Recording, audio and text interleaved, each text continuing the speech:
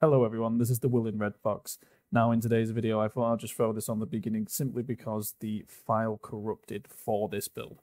So there's not really much that I can actually show for this, but I've been able to salvage what I can into a quick little video.